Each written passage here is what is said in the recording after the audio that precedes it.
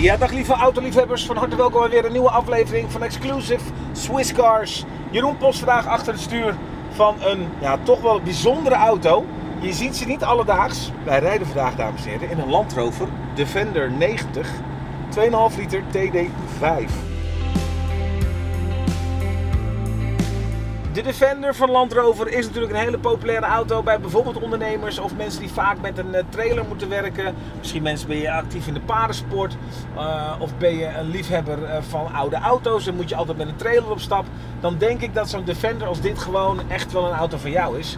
Want ja, hij kan natuurlijk ook nog wel even wat trekken natuurlijk. Hè? Het is een dieseltje ook, dus je kan je kilometers maken als het moet. Slechts 167.000 kilometer gelopen. En als je dan ook weer kijkt hè, naar alle klokken en de knopjes binnenin. Alles is nog steeds in een ontzettende goede staat.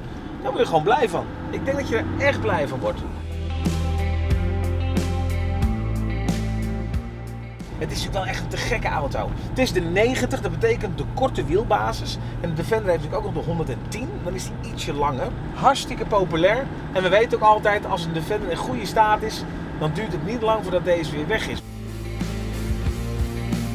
Het is een auto waarmee gewerkt moet worden. Dus je hebt een auto waar je dus wel een piepje, een kraakje. Je hoort een beetje bij het raam. Je hebt een klein ruitenwissertje. Dat hadden we dan ook in die G, hè, die G-klasse van Mercedes. Prachtig van een auto ook. Ook iconisch. Aan de andere kant, het is ook werken met zo'n auto. Hè. Het is allemaal net even. Nou stuurt deze overigens vrij licht. Want ik had eigenlijk verwacht dat hij zwaarder zou sturen. Maar ik denk wel dat die auto gemaakt is voor de wildernis in Afrika. Want het is een groot stuur. En als je het bochtje omgaat, kom ik met mijn elleboog tegen een ding aan. Dus als ik hem nou open draai. Nee, dit zit hier in het midden. Dat is gewoon elektrisch, hè? Oh, dat is elektrisch. Wat een luxe. Ik dacht dat ik met de hand de boel moest opendraaien. Kijk, dit zou makkelijker zijn. Want nu zit je lekker met je elleboog buiten het raam. En dan is het allemaal prima. Want het, stuurt lekker. Het stuurtje is nog eens nagenoeg een soort met nieuw.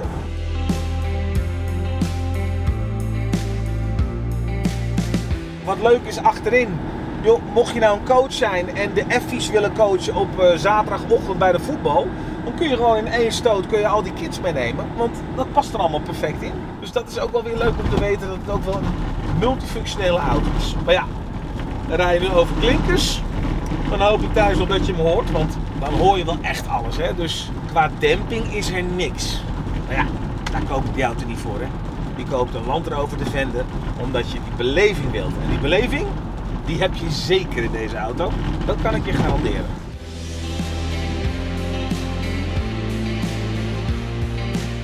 Maar weet je, ik zou gewoon als ik jou was even gewoon goed ervoor gaan zitten. Kijk gewoon even in welke staat deze auto is, want je komt het namelijk niet elke dag tegen. En we zijn toch vol trots om jou deze auto even te laten zien. Komt ie aan!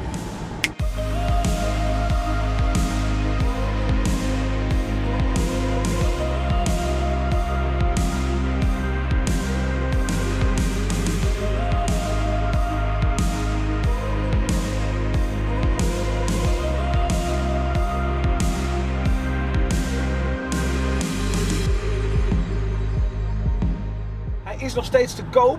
Heb je interesse? Laat het ons even weten. Stuur vooral even een mailtje. Uh, ik hoop dat je genoten hebt van de beauty shots. Wij wel. Het is een, een superleuke auto om in te rijden. Het is lekker werken en er gebeurt van alles. En je moet echt weer lekker ouderwets even schakelen. Ja, het is gewoon een hartstikke leuke auto om te hebben, denk ik. Ik zeg bedankt voor het kijken. Een hele fijne dag nog. En graag tot de volgende aflevering. Hoi hoi!